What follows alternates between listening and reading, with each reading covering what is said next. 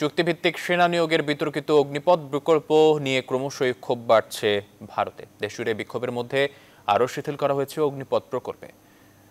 সেনা নিয়োগে এবার দশ শতাংশ সংরক্ষণের সিদ্ধান্ত নিয়েছে কেন্দ্রীয় সরকার। বাড়ানো হয়েছে নিয়োগের বয়সসীমা। এদিকে বিহারে শুরু হওয়া বিক্ষোভ ছাড়িয়েছে তেলেঙ্গানা রাজস্থান উত্তরপ্রদেশ হরিয়ানা, পশ্চিমবঙ্গ, মধ্যপ্রদেশে। এর মধ্যে পুলিশের গুলিতে মারা গেছেন এক যুবক। দেশের বিভিন্ন স্থানে বিক্ষোভের সময় গতকাল পর্যন্ত মোট বারোটি ট্রেনে আগুন দেওয়ার ঘটনাও ঘটেছে। বাতিল করা হয়েছে তিন শতাধিক যাত্রাপথ। শুক্রবার সবচেয়ে বেশি উত্তাল ছিল তেলেঙ্গানা।